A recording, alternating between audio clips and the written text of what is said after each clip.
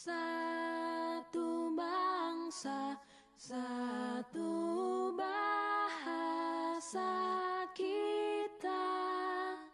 Tanah air pasti jauh